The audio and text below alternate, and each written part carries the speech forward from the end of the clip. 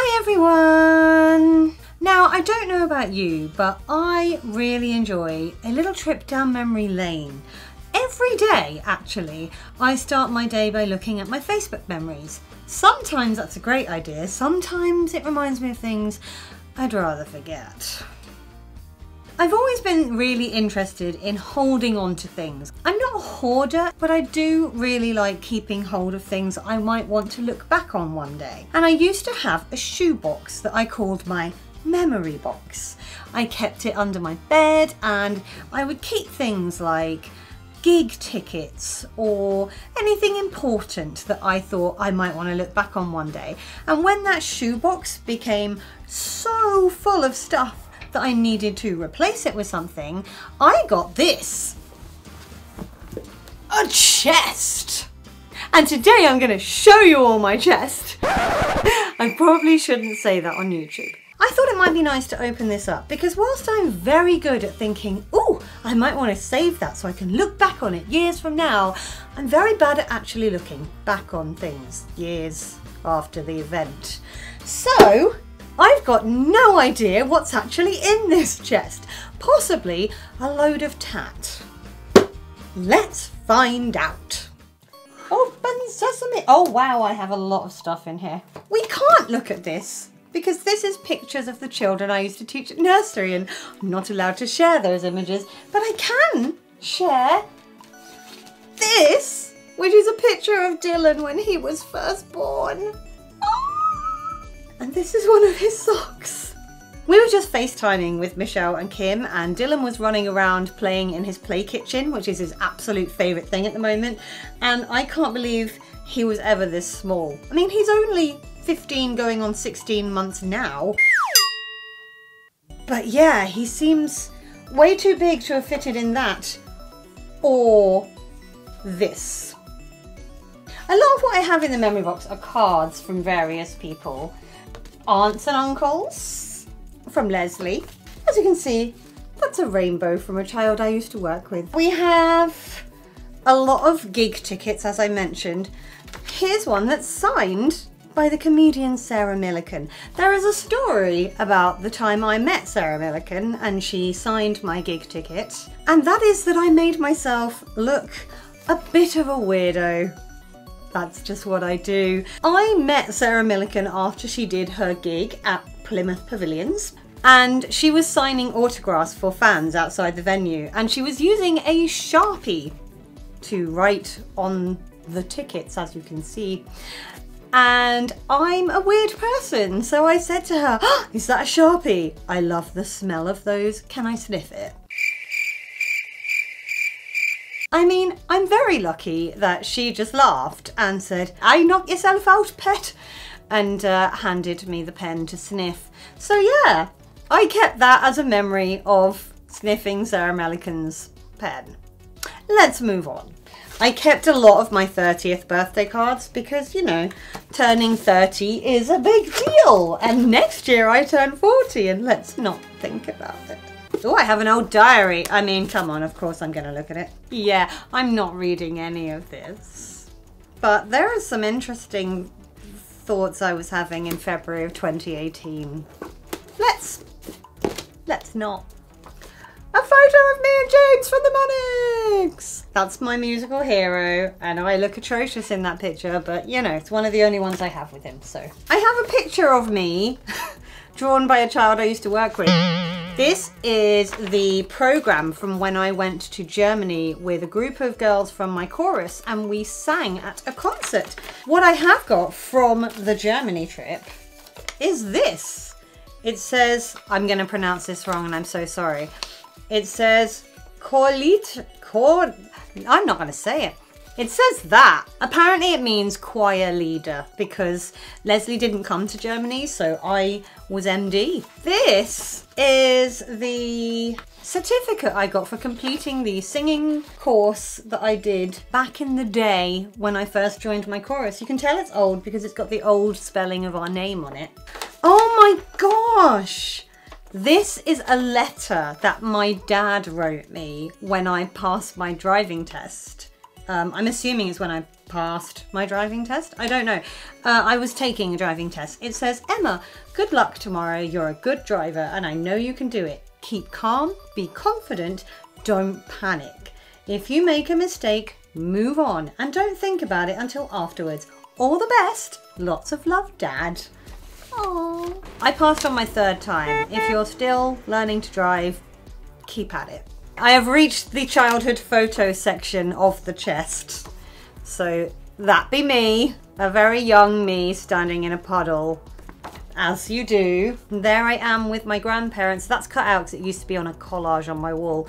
That is, in case you're wondering, my Nan and Paps. My Nan from the story of the missing ring, if you are a long-term watcher of this channel and saw that video a couple of weeks ago.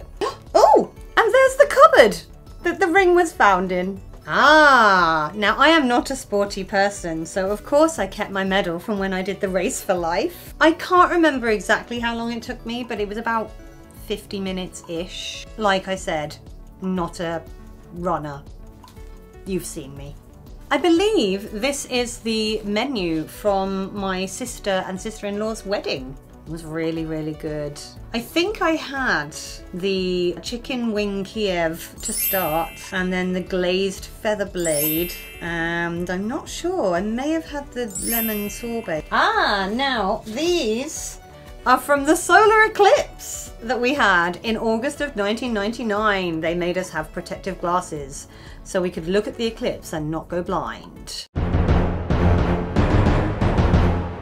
This is a letter from the House of Commons. So when I was a little girl, I was obsessed with seals. I thought seals were the cutest things in the world. I still love seals. And I watched an article on like Newsround or something about how in some other country they were hunting seal pups for their fur and I was really upset and I actually cried and I said, I, I need to do something. And my mum was like, write to the Prime Minister. And I did. And I got a reply from his office and I kept it. Um, this is from 1993 when the Prime Minister was John Major. There are some really fabulous old photos in here that I'm not showing because my goodness, I look horrendous. For balance, since you've seen a photo of my other grandparents, these are my mum's mummy and daddy, my nanny May and granddad Charlie. Oh wow! Do you remember when I talked about how much I used to love 911? I have, this is my visitor badge from BBC Radio Cornwall when I went to speak to them. It hasn't got a year on. I thought it said 2022 and I was like, that's next year. Oh my God, that's the future. Yeah, that's that was my visitor number. But yes, I went on the radio to talk about one of the books I'd written. We have my old dog's old vet card and also his kennel club registration. Cal. He was a lovely dog. I keep a lot of menus. This is another menu. It was from an afternoon tea that my mum and I went to and it was very tasty. There are lots of stickers from when I wrote some children's books and I used to give them out at signings. Yeah, I've done book signings. Aha, Cornwall Today magazine. I kept this for one reason and one reason only and I need to find it. Aha! Author of new children's series hoping to save the day. That's me. I'm gonna read the opening because, I mean, I'm literally nearly 40 and recording this in my bedroom at my parents' house, but the opening is really lovely. It says, Some people are destined for success. I've got a feeling Emma Tofi, age 28, is one of those people carry on because this is lovely. Perhaps the young author is not the most obvious candidate for stardom. A former teaching assistant, she lives with her parents in the quiet town of Wadebridge, North Cornwall. But behind her modest, unassuming demeanour lies talent in spades. You know, I don't have a great deal of self confidence, so I need to keep this kind of stuff lying around. We've got my old school tie, which I can't entirely remember how to and, then up and then in. Wow, that's really short. I've I've tied that. I mean, yeah, I was smarter than this at school. 21st birthday badge. I mean, it's kind of depressing when you think that nearly 20 years have gone by since then. Death comes to us all, people. This is probably one of the oldest things in this chest. Now, we've just looked at a magazine article talking about me as a young author. This is from a book competition when I won a prize at Sawtry Junior School, January 1991, which would have made me eight. I was, you know, literary from a very young age. That's the ticket from my first ever concert, and yes, it was 911. No, I will not accept your judgment. Now we have, this makes me slightly emotional and I promise not to cry. This is a letter that my nan wrote to me. She went to Norway with my granddad and she sent a letter to my sister and I.